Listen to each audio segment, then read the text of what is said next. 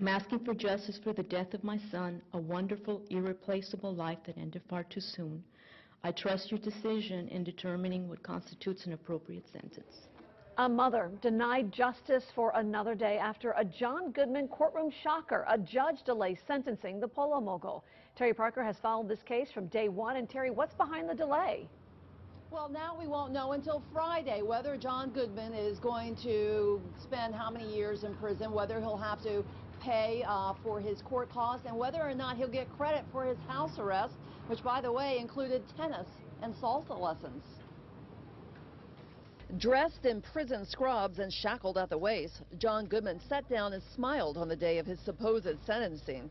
And in the end, it was postponed while the judge researches whether or not Goodman should pay for his entire court costs, whether he'll get bond, and if one of his charges should be dropped. We have issues, and, and the judge wanted to resolve all the issues at once, which is entirely appropriate, so I will see you all on Friday. During the hearing, the state argued Goodman is a flight risk, and if he is granted bond, it should be $10 million, and he'd be put under the same 24-hour guard he had before.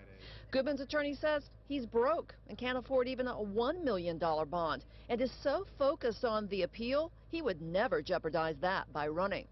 The only person to testify was victim Scott Wilson's mother, Lily. For over four years, I've been asking myself, how could this have happened? What could have been done to prevent this or save him? Now I ask myself, will there ever be peace again? And Lily Wilson did not want to comment after the hearing on this postponement. John Goodman, he's back in jail tonight, and his defense attorneys didn't want to comment either.